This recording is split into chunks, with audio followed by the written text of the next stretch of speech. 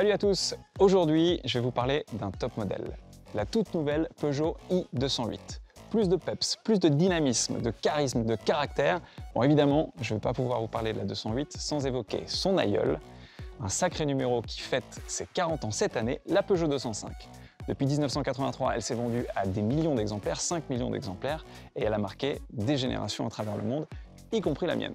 La 208 actuelle a repris le flambeau avec succès puisque c'est la voiture la plus vendue en Europe depuis deux ans. Et aujourd'hui, Peugeot dévoile sa toute nouvelle génération de 208 en électrique pour continuer à écrire l'histoire. Et ce qui saute aux yeux, c'est clairement son allure. Elle est hyper moderne, mais surtout, elle est sculptée, sportive, racée comme on aime, surtout avec ce jaune Agueda qui, je trouve, lui va hyper bien. Et la bonne nouvelle, c'est que cette toute nouvelle i208 les 400 km d'autonomie, qu'elle est encore plus fun et que c'est toujours zéro émission.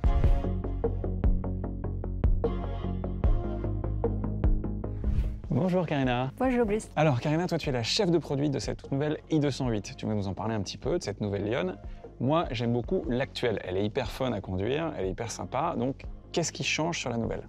Oui, tu as raison. Quand on a une voiture qui a tellement de succès, il faut être à l'auteur. Donc euh, nous avons donné un bon coup d'épée sous design et nous l'avons placé au plus niveau technologique de son segment. Ok, très bien. Mais alors rassure-moi, parce que étant fan de l'ancienne, elle a toujours quand même ce, caractère et l'âme d'une 208. Ah oui, je te rassure. La nouvelle E208, elle est plus 208 et plus Peugeot que jamais. Elle est plus féline, plus efficiente, plus fun à conduire. Elle est plus irrésistible ça me parle. Si elle est fun à conduire, c'est très bien. C'est vrai qu'elle a une forte personnalité, donc on a envie euh, qu'elle la conserve. Alors explique-moi concrètement, comment est-ce que vous avez travaillé pour concevoir cette nouvelle génération Nous avons travaillé sur les trois piliers de la marque Peugeot. L'allure, l'émotion et l'excellence. Sur l'allure, on a travaillé sur les designs. On l'a rendu plus attractif, plus dynamique, presque athlétique, notamment avec la nouvelle signature lumineuse. Comme c'est Peugeot, nous avons pris une attention particulière au design, au style et au plaisir qui provoque une voiture en esthétique et en dynamique. Après, au niveau de l'émotion, comment est-ce que vous l'avez travaillé Pour l'émotion, on l'a rendu encore plus fun à conduire avec sous Peugeot iCockpit, beaucoup plus digital et technologique. Et ensuite, on arrive sur le volet de l'excellence, qui est le dernier pilier, qui est quand même un des piliers principaux chez Peugeot. Oui, la nouvelle E208 offre 156 chevaux, une autonomie de 400 km et un temps de charge entre 20 et 80% de moins de 30 minutes. C'est ultra rapide, c'est ultra agile. effectivement, et 156 chevaux, ça me parle. C'est sûr que ça va être fun à conduire, c'est très bien, mais je crois qu'il y a aussi de l'hybridation. Oui, on élargit la gamme avec deux hybrides inédits, 100 chevaux et 136 chevaux. On réduit ainsi la consommation de 15% et on peut rouler en ville jusqu'à 50% du temps en mode électrique, donc avec zéro émission. Très bien. On en parle, on en parle, mais ça me donne envie d'aller la voir. Donc j'y vais et on se retrouve tout à l'heure. Bonjour Luc. Bonjour Bruce. Alors ça, c'est une couleur sport et dont on se souvient. Cette couleur, toi qui es le chef du design, dis-moi que c'est réservé à la série et que c'est pas que pour le show. non seulement elle sera en série, mais ce sera la teinte de lancement. C'est une teinte qu'on a appelée jaune agoda. Et c'est une teinte qui est née dès le départ du projet. On souhaitait euh, une couleur emblématique pour souligner le caractère dynamique de la 208. Elle a tout de suite plu en test de clients et elle s'est imposée à tous. Bon, effectivement, on en a plein les yeux, mais dis-moi, qu'est-ce que vous avez travaillé au niveau design? Alors la 208 a déjà une forte personnalité, mais on a souhaité aller plus loin sur cette nouvelle.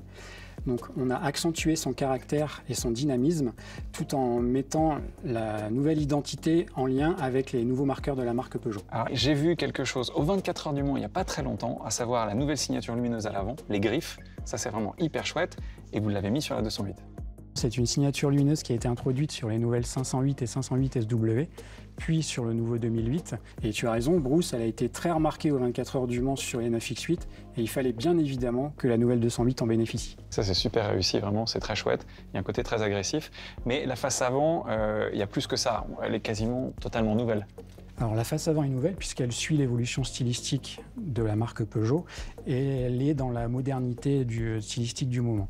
Donc en fait, la calandre, dès le niveau allure, reçoit une trame évolutive couleur caisse qui la fond littéralement dans le volume général du pare-choc et l'ensemble n'est plus cloisonné mais forme un tout au bénéfice de la robustesse perçue et de la modernité.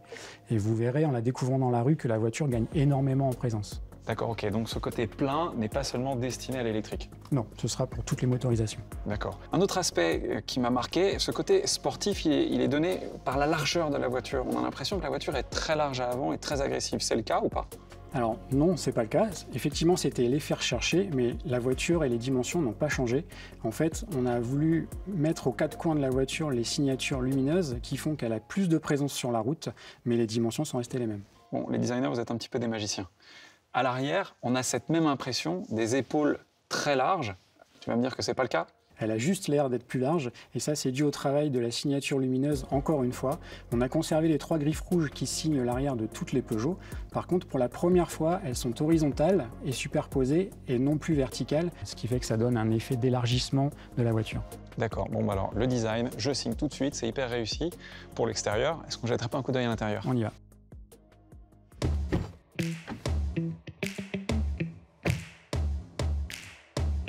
Bon déjà, très bonne nouvelle, on retrouve le fameux Peugeot e-cockpit, et une chose que j'adore, le volant compact, typique des voitures de course.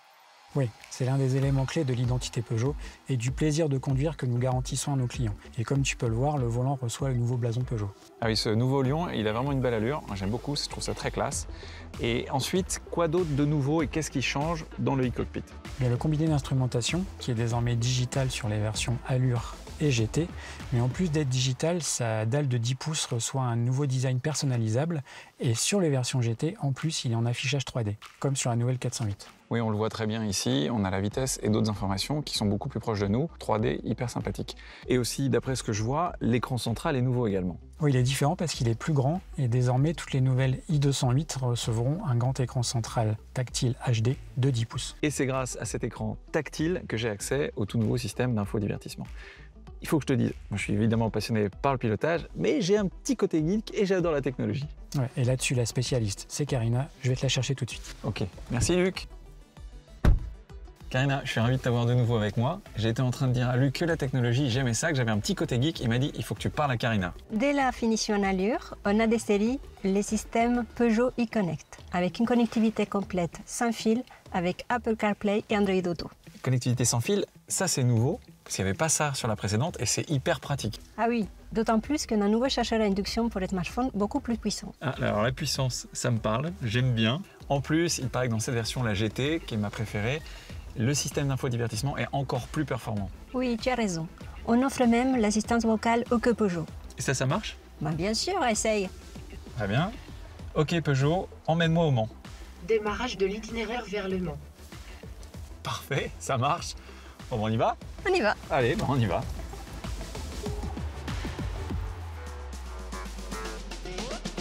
Plus irrésistible que jamais, cette nouvelle Peugeot i208 passe le cap des 400 km d'autonomie. Elle adopte la nouvelle signature lumineuse de Peugeot et un nouveau design qui la rend encore plus attractive, dynamique, racée et unique. Elle est encore plus fun à conduire, notamment grâce à son nouveau iCockpit, et en plus d'être électrique, elle propose des motorisations hybrides qui sont tout aussi performantes qu'efficientes. Bref, tous les éléments sont réunis pour qu'elle reste la voiture préférée des Français et même des Européens. Il ne me reste plus qu'à vous donner rendez-vous dans peu de temps pour enfin avoir le plaisir de la conduire. En tout cas, moi, j'ai hâte.